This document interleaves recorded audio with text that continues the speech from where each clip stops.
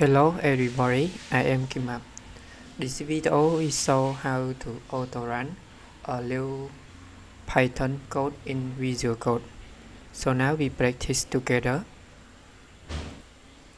First, you need to open uh, extension and install LiveCode for Python. Then we click to uh, Control CP and type new uh, new code. Uh, you need to uh, use Control Shift A to new uh, code. Okay, now we output this new code.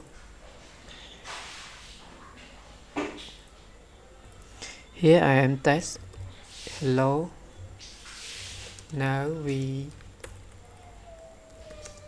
you are watching